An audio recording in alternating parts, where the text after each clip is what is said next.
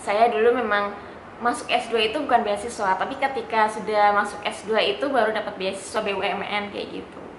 Nah ini salah satu tipsnya ya, tips yang kedua itu hemat uang. Kenapa? Karena pada saat teman-teman S2 itu beda banget dengan S1 dulu. S1 dulu kan kalau ujian skripsi ya gratis kayak gitu ya udah masuk UKT tapi kalau udah S2 itu serba bayar teman-teman. Bayangin ya serba bayar. Kayak misalnya kita mau sidang tesis itu bayar. Terus mau wisuda bayar lagi. Mau yudisium bayar lagi. Serba bayar intinya belum lagi ya dosen penguji maupun dosen pembimbing yang revisi berkali-kali dan kita sudah ngelihat laptop itu kayak ngelihat apa ya Thank you.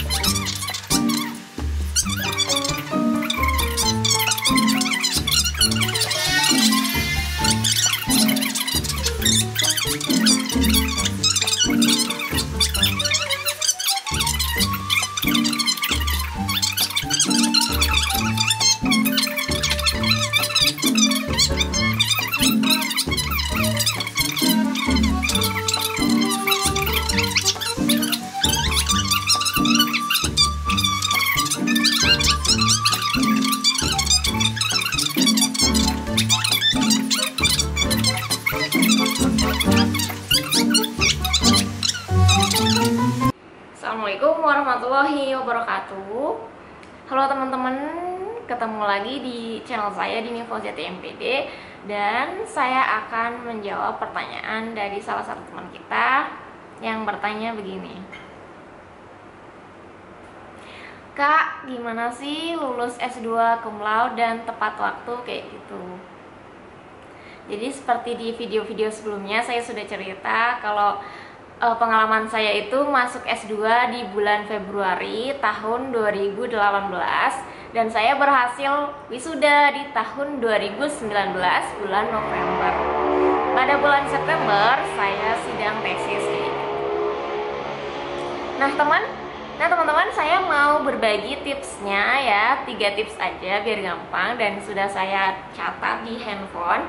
Tips yang pertama, Ikuti aturan tiap dosen, absen sesuai kontrak kuliah, tugas dikumpulkan sesuai deadline, kayak gitu teman-teman. Terus uh, masuk kampus nggak telat terus, jadi sesekali boleh lah telat, tapi jangan sering-sering kayak gitu ya. Dan tips yang kedua yaitu gunakan uangmu sebaik mungkin. Kenapa kak? Karena ya buat teman-teman yang bukan anak beasiswa kayak saya dulu ya. Jadi saya dulu memang masuk S2 itu bukan beasiswa, tapi ketika sudah masuk S2 itu baru dapat beasiswa BUMN kayak gitu.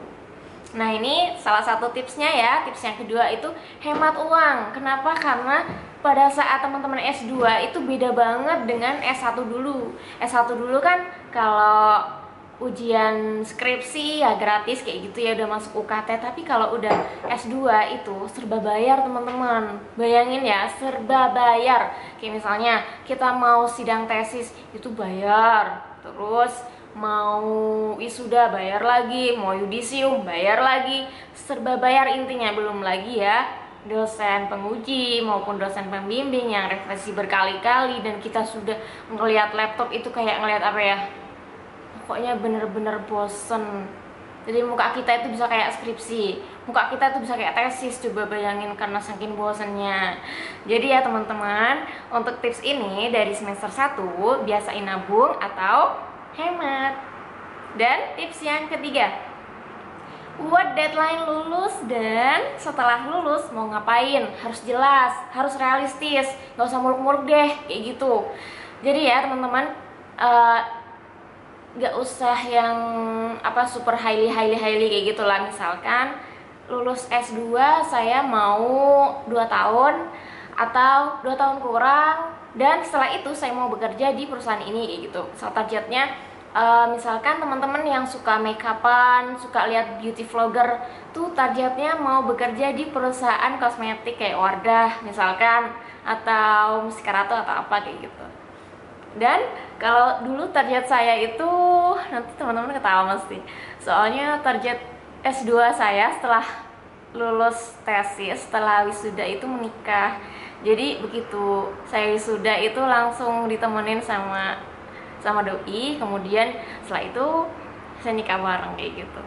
Oke guys itu dia tiga tips lulus S2 cum dan tepat waktu halo semoga bermanfaat ya. Assalamualaikum warahmatullahi wabarakatuh